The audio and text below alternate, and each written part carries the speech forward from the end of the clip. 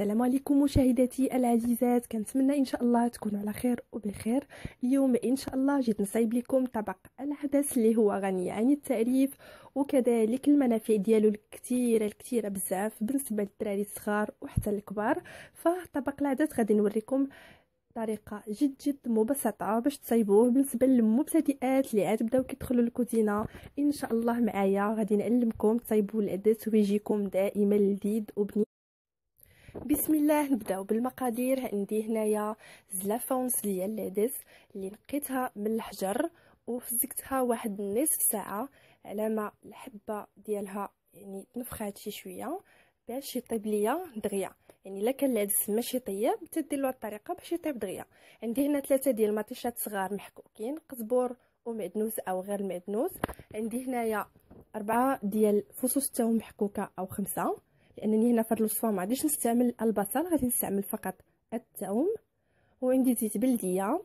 عندي هنايا التحميره عندي سكينجبير عندي هنايا الكمون والملح عندي ملعقة ملعقة ملعقة صغيرة وعندي هنايا يعني مطيشة ديال الحك بسم الله غادي نبداو على بركة الله. كناخذ الطنجره ديالي كنوضع فيها ديالنا. واحد ثلاثة ديال المعلقات ديال الزيت البلدية. معلقات كبار. كنزيدو عليهم الثوم. من الأفضل أنكم تكثروا في الثوم أنا هنا درت خمسة ديال الثومات كبار.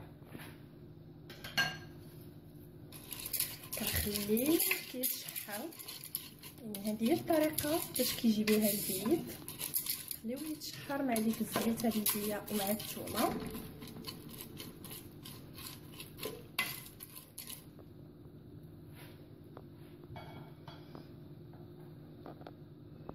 من بعد كنزيدو المطيشة.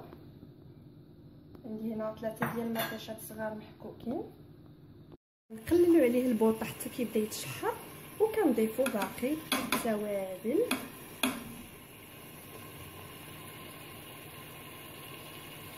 هنايا العدس قرب يطيب ليا هنا شديت ثلاثة ديال الخيزونات ونقيتهم وقربتهم حيت لهم القلب ديالهم.